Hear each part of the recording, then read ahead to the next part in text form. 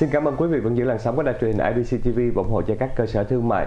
Quay trở lại với phần tin tức là bản tin về việc tổng chiến dịch ở Ukraine đang diễn ra theo đúng kế hoạch. Tổng thống Vladimir Putin đánh giá tích cực về diễn biến chiến trường trong chiến dịch quân sự của Nga ở Ukraine. Bình luận được đưa ra vài ngày sau khi các lực lượng của Nga kiểm soát được hoàn toàn thị trấn chiến lược Soledad ở Donbass. Trong một cuộc phỏng vấn với kênh tin tức Russia 1 phát sóng vào ngày 15 tháng 1, Tổng thống Putin đã cho hay các lực lượng hiện đang có tích cực. Mọi thứ đang diễn ra theo kế hoạch của Bộ Quốc phòng và Hội đồng Tham mưu trưởng Liên quân. Ông cũng bày tỏ hy vọng các binh sĩ sẽ làm hài lòng chúng tôi hơn nữa với kết quả của họ. Người phát ngôn Bộ Quốc phòng của Nga Igor Kosachenkov vào ngày 13 tháng 1 cho biết quân đội của Nga đã giải phóng Soleda vào tối ngày 12 tháng 1. Ông nói thêm rằng việc kiểm soát hoàn toàn Soledar có thể cắt đứt các tuyến đường tiếp tế cho lực lượng ở Ukraine ở thành phố Bakhmut nằm phía tây nam, sau đó bao vây các lực lượng Ukraine tại thành phố này. Hai bên giao tranh ác liệt gần Bakhmut trong những tháng gần đây. Thành phố này là một trung tâm hậu cần quan trọng cho quân đội Ukraine ở Donbass, trong khi đối với Nga, việc chiếm được thành phố này sẽ mở ra một con đường dẫn đến các thị trấn quan trọng khác do Ukraine kiểm soát.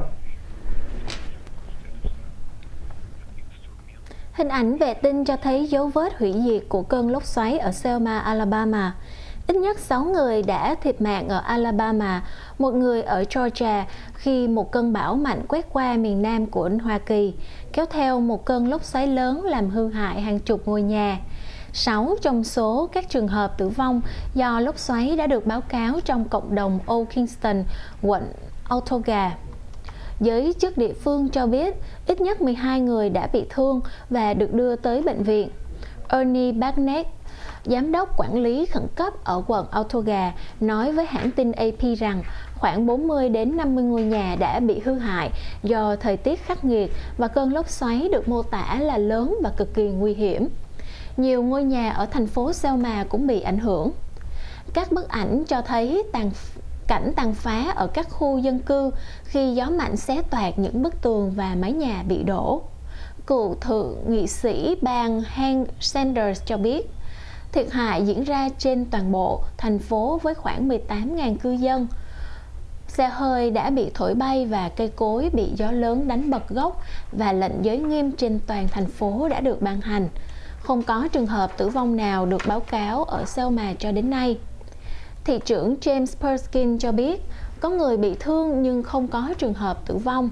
Chúng tôi có rất nhiều đường dây điện bị đứt, có rất nhiều nguy hiểm trên đường phố.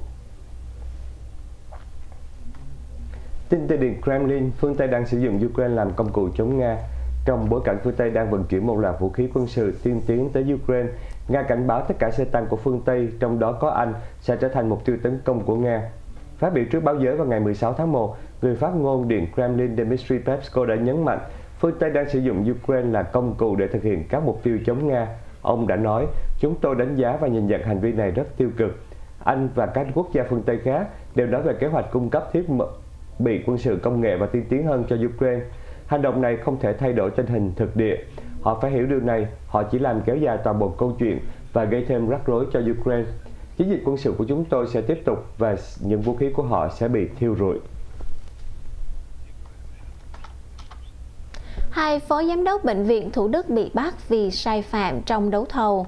Hai phó giám đốc bệnh viện Thủ Đức Bác sĩ Nguyễn Lan Anh và bác sĩ Nguyễn Thị Ngọc bị bắt giam vì dính líu đến vụ án vi phạm về quy định đấu thầu, gây hậu quả nghiêm trọng tại Bệnh viện Thủ Đức và công ty trách nhiệm hữu hạn hữu hạn thương mại dịch vụ sản xuất Nguyễn Tâm. Cơ quan Cảnh sát điều tra thuộc Bộ Công an vào ngày 16 tháng 1 thông báo cho truyền thông nhà nước về lệnh bắt giam hai bà bác sĩ vừa nêu. Lệnh này cũng được Viện Kiểm soát Nhân dân tối cao phê chuẩn. Thông tin từ cơ quan cảnh sát điều tra cho biết vào cuối năm 2021, cựu giám đốc bệnh viện Thủ Đức ông Nguyễn Minh Quân và giám đốc công ty trách nhiệm hữu hạn thương mại dịch vụ sản xuất Nguyễn Tâm, ông Nguyễn Văn Lợi đã bị bắt về tội vi phạm quy định đấu thầu gây hậu quả nghiêm trọng hai ông Quân và ông Lợi bị bắt vì bàn bạc, cấu kết thực hiện hàng loạt hành vi vi phạm pháp luật trong đấu thầu trong việc mua sắm vật tư trang thiết bị y tế tại bệnh viện thành phố Thủ Đức, gây thiệt hại nghiêm trọng về tài sản nhà nước. Vụ án này thu hút chú ý của công luận vì ông Nguyễn Minh Quân sau khi bị phát hiện sai phạm đã chi tổng cộng 2,6 triệu Mỹ Kim, tương đương với 60 tỷ đồng để nhờ người chạy án. Ông Quân liên hệ với ông Bùi Trung Kiên là cựu cán bộ phòng 6 thuộc Cục Cảnh sát điều tra tội phạm về tham nhũng kinh tế buôn lậu, gọi tắt là CO3 của Bộ Công an nhờ lo lót không bị xử lý hình sự. Tuy nhiên, theo CO3 cho biết, sau khi nhận tiền, ông Kiên không chạy án mà sử dụng số tiền trên để đầu tư bất động sản. Ông Quân sau đó không thấy sự việc tiến triển nên đòi tiền lại và ông Kiên đã trả lại 1,15 triệu Mỹ Kim. Thêm hai trung tâm đăng kiểm bị khởi tố, Bộ trưởng Bộ Giao thông Vận tải lên án bảo kê tội phạm. Hai trung tâm đăng kiểm 2601D và 2603D tại tỉnh Sơn La vào ngày 16 tháng 1 bị khám xét và bị khởi tố. Tội nhận hối lộ theo Điều 354 Bộ Luật Hình sự Việt Nam đối với những người vi phạm. Cơ quan cảnh sát điều tra thuộc Bộ Công an tỉnh Sơn La tiến hành biện pháp vừa nêu và cho biết từ năm 2020 đến nay, một số cán bộ của hai trung tâm đăng kiểm 2601D và 2603D tỉnh Sơn La về kết luận đã nhận tiền hối lộ từ các chủ phương tiện trong việc khoán cải xe ô tô. Một phần tiền hối lộ được chuyển cho một số cá nhân tại Cục Đăng Kiểm. Cũng trong ngày 16 tháng 1, Bộ trưởng Giao thông Vận tải ông Nguyễn Văn Thắng tham dự hội nghị tổng kết công tác của Cục Đăng Kiểm. Trong đó, ông Thắng phát biểu rằng thực tế nhiều cán bộ từ Cục trưởng Cục Đăng Kiểm xuống đến trưởng phòng, rồi cán bộ các trung tâm đăng kiểm bị khởi tố, cắt giam là sự cố rất nghiêm trọng và đau xót. Việc Cục Đăng Kiểm nhận tiền theo tháng là bảo kê tội phạm, vào ngày 15 tháng 1, Công an thành phố Hà Nội cho biết đã khởi tố 4 vụ án liên quan, khởi tố 18 bị can, trong đó có 3 giám đốc, 1 phó giám đốc và 14 đăng kiểm viên.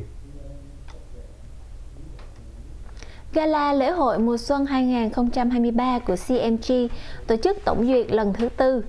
Tập đoàn truyền thông Trung Quốc CMG hôm thứ Hai đã tổ chức buổi tổng duyệt lần thứ tư cho Gala lễ hội mùa xuân 2023 để hoàn thiện hơn nữa các chương trình. CMG lần đầu tiên cung cấp tín hiệu màn hình dọc nhiều camera, cho phép người dùng điện thoại di động xem buổi dạ tiệc từ nhiều góc độ khác nhau, từ sân khấu phía trước đến hậu trường.